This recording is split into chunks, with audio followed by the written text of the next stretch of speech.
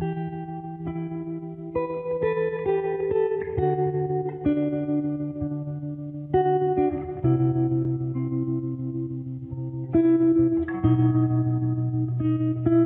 اللہ الرحمن الرحیم۔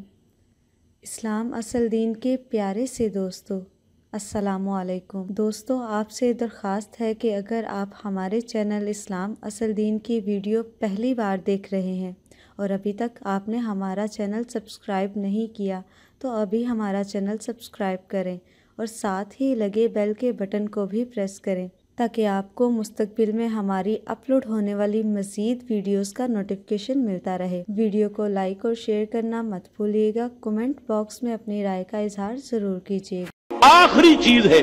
اس کے بعد بھی اگر آنکھ نہیں کھلتی کسی انسان کی، تو میں نہیں سمجھتا کہ وہ اپنے اپنے گرد اس نے جو یہ فلا تزکو انفسکم، اس نے جو اپنے گرد تسکیہ نفس کا ایک مصنوعی حالہ بنا لیا ہے، کبھی بھی وہ اس حالے سے نکل سکے گا اگر اس حدیث سے بھی آنکھ نہ کھلی۔ اور وہ حدیث کیا ہے؟ مولانا اشرف علی تھانوی نے اس کو اپنے جو خطبات جمعہ ہیں ان میں نقل کیا ہے۔ بے حقی کی روایت ہے۔ اوہ اللہ عز و جل الى جبرائیل علیہ الصلوۃ والسلام ان اقلب مدینہ قضا و قضا باہلها اللہ نے حکم دیا حضرت جبرائیل کو، فلاں فلاں بستیوں کو الٹ دو اس کے رہنے والوں سمیت۔ قال فقال۔ حضور نے فرمایا، اس پر حضرت جبرائیل نے عرض کیا بارگاہ خداوندی میں، ان فیھا عبدک فلانا لم یعصک طرفۃ پروردگار، اس بستی کو الٹ دوں اس میں تو تیرا فلاں بندہ بھی ہے جس نے کبھی پلک جھپک نے جتنی دیر بھی معصیت میں بسر نہیں کی۔ اب آپ اندازہ کیجیے، یہ جو ہے نا اپنے آپ کو رگڑنا اور مانجنا، اور پوری زندگی رگڑنے میں اور مانجنے میں لگا دینا۔ ہم بعض بزرگوں کے تذکرے میں سنتے ہیں، اتنے اللہ والے تھے، اتنے اللہ والے تھے کہ ان کا گھوڑا بھی کوئی مشکوک دانا نہیں کھاتا تھا۔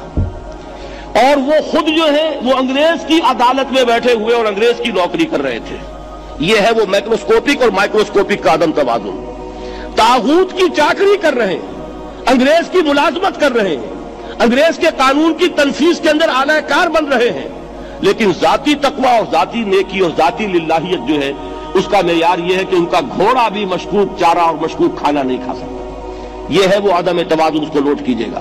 جس کو کہ اس حدیث میں محمد رسول اللہ صلی اللہ علیہ وسلم نے واضح کر دیا کہ حضرت جبرائیل عرض کرتے ہیں کہ اللہ فلاں بستی کو الٹ دوں۔ اس میں تو تیرا فلاں بندہ بھی ہے جس نے پلک جھپک نے جتنی دیر بھی معصیت نے بسر نہیں کی۔ ذاتی نیکی کا اب اس سے اونچا کوئی مقام کوئی شخص مجھے اگر بتا سکے تو میں اس کا مرید ہو جاؤں گا۔ اس سے اونچا کوئی مقام ہوگا کہ آنکھ جھپکنے جتنی دیر بھی کسی نے معاشیت میں بسر نہیں کی۔ ذاتی نیکی کی معراج۔ لیکن حکم کیا ہوا بارگاہ خدا بندی سے؟ قال فقال۔ حضور نے فرمایا، اللہ تعالیٰ نے حکم دیا جبرائیل کو، اقلب ہے علیہ وعلیہ الٹو اس بستی کو پہلے اس بدبخت پر، پھر دوسروں پر۔ کیوں؟ فَإِنَّ وَجْهَهُ لَمْ يَتَمَّعْرْ فِي يَسَاعَةً قَتْ اس لیے کہ اس کا چہرہ کبھی میری غیرت میں سرخ نہیں ہوا، اس چہرے کا رنگ نہیں بدلا۔ بے غیرت انسان، بدیاں پھیلتی رہیں، میرے دین کو رودا جاتا رہا، میری شریعت کی دھجیاں بگڑتی رہیں۔ عوامر کا مذاق اڑایا جاتا رہا۔ نواہی کے لیے دنیا کے اندر جن چیزوں سے میں نے روکا، اس کے لیے فلسفے تراشے گئے۔ اور یہ لگا رہا مست رکھو ذکر و فکر صبح گاہی میں اسے۔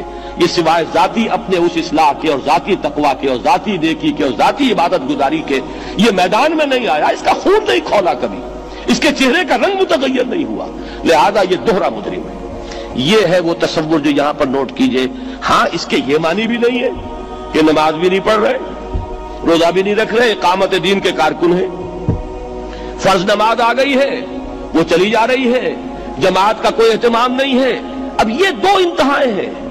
ایک انتہا یہ کہ وہ تزکیہ نفس جو ہے، اسی میں وہ رگڑنے اور مانجنے کا عمل جاری ہے۔ ایک یہ کہ اس کا سرے سے کوئی تعلق ہی نہیں، اپنی ذات سے بحث ہی نہیں۔ وہ کیفیت وہ ہو گئی ہے جو یہود کی آئی ہے قرآن مجید میں، کہ تامرون الناس بالبر وتنسون انفسکم وانتم تتلون الکتاب۔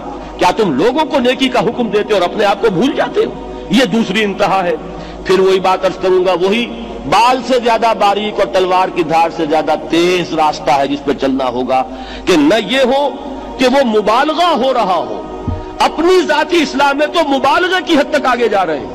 اور دوسرے یہ کہ اپنے دین کی تبلیغ و اشاعت، اقامت دین کی جدوجہد، اس کا خانہ ہی نہیں کھولا زندگی میں۔